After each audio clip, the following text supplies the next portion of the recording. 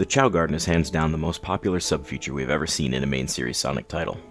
These virtual pets have so much to offer it would distract us from saving the world. Although they have made appearances in many Sonic titles, we haven't received a full-fledged nursery in 19 years. So why haven't we seen its return? Let's start with a little background. The Chao made its first appearance in 1998, or 1999 in the US, on the Dreamcast title Sonic Adventure. This was our first introduction to the Chao, and all bases for the Chao were laid out here. You could race them, breed them, and of course care for them.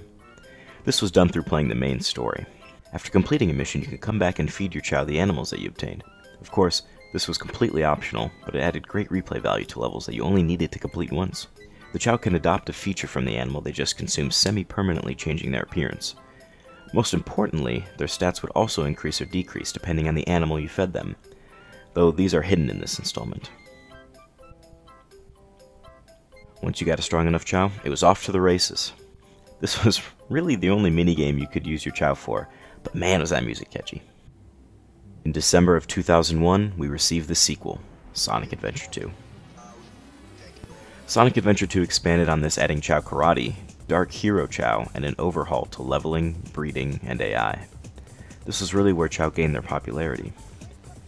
Just about everything was made easier and better, making this the ideal game for Chao. Look, here's a petition to get this game on the Switch. It's popular, okay? Chao Karate was another mini-game you could throw your Chao into for necessary emblems, but also another reason to make your Chao stronger than all living things.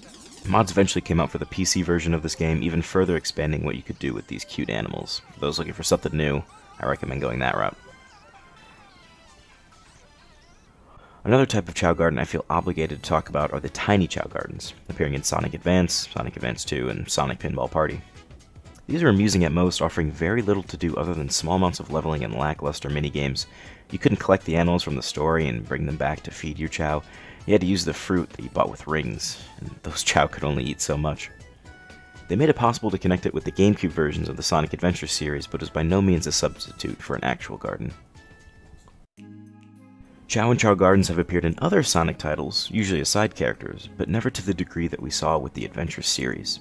Technically, there are other Tiny Chao Gardens, like in 2004's Sega Superstars, but it didn't offer anything that the previous Tiny Chao Gardens had besides a black market and its three-dimensional Chao, which honestly looked pretty scary. Chao were usually used as background assets or power-up items. Sometimes they're even playable, but that's not what we want. They had some non-Sonic title representation, such as Super Smash Bros., and recently in Ultimate, they even showed off the Hero Chao. But their latest appearance in-game was in Mario and Sonic at the Olympic Games Tokyo 2020. They also loosely appear outside of video games, such as merch, or this animation from December 2019 released by the official Sonic channel, using sound effects and scenery from Sonic Adventure 2. I, I know, it's like they're taunting us. Well, at the very end of 2003, we saw the release of the next big Sonic game after Sonic Adventure 2, Sonic Heroes. As many know, no Chao Garden. Directly after this game's released, in an interview with the director of the Sonic team, he was asked why Chao didn't make a return. He responded with, The Chao raising would have broken up the action too much. In Sonic Adventure, we created the Chao Garden so that players would be forced to go out and explore the sections. The Sonic Adventure series has not ended though, so theoretically the Chao Garden could return sometime. This was 2004. However, in 2018, we had a fan up front ask why they haven't returned.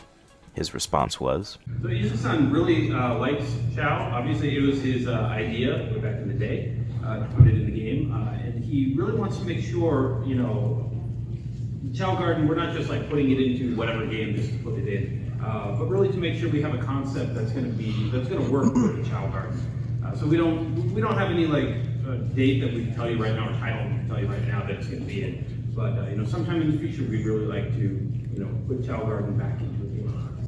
A promising response, but I was hoping for more 14 years later. Okay, so maybe they're just not aware that people want it. Except that during the Sonic the Hedgehog 25th anniversary panel where Sega's social media manager said this. So I really need to get your reaction for this because this is going to maybe help settle a debate that is happening right now. You know, I'm just trying to convince people of certain things. Um, these lovable balls of fluff appear in the Chao Gardens Sonic Adventure. You can raise them, you can race them, you can even put them on your VMU, which was an amazing memory card at the time. And they're the coolest. We should totally bring them back, right? Would you guys like that? I should specify there are not currently any plans to bring them back, but that cheer really helps me a lot. So thank you for that. And then there's this tweet from two years after by the official Sonic the Hedgehog Twitter asking what our favorite feature was from past Chao games. Chao Gardens won by a landslide. The Sonic team has been teasing that another installment for the Sonic Adventure series could be a thing in the future. But the future is now. It's time for another Chao Garden. So, with this constant representation, why haven't we seen a new Chao Garden? Well, one reason could be it's not marketable. In an interview circa 2007, the creator of Chao said, Chao have that part that floats over their heads and gradation on their bodies, so their designs aren't well suited for becoming products. It caused trouble for those involved in making goods like stuffed animals and for those that worked on the cartoon. And although plushies and toys do exist of Chao, they look different than how they appear in game. Some are better than others. it's much easier to create a Sonic or Knuckles in this form, and it doesn't take away from their original look. Another more obvious reason is that they're waiting for Sonic Adventure 3. It'd be cool to see this release in 2021, 20 years after Sonic Adventure 2 came out. Both no word yet, it is unlikely. Releasing a Chao Garden with any other title might be considered half-hearted by the director. And honestly, I think that's a fair point. Playing a game like Sonic Colors with a Chao Garden would not feel the same. We don't want a mode we've been waiting for since 2003 to come back in a lackluster title that we feel forced to play because our Chao are hungry for peacocks and gorillas. But for real, Sonic 06 with a Chao Garden? Eh, pass. Hey, I hope you guys enjoyed the video, and if you did, hitting the like button helps a ton. I'm new to this, so, you know, if you have any thoughts or information, please let me know in the comments. I'd love to know what you think. If you want to see more or just want to chat, you can check me out on my Twitch channel. Other than that, hope you guys have a good one.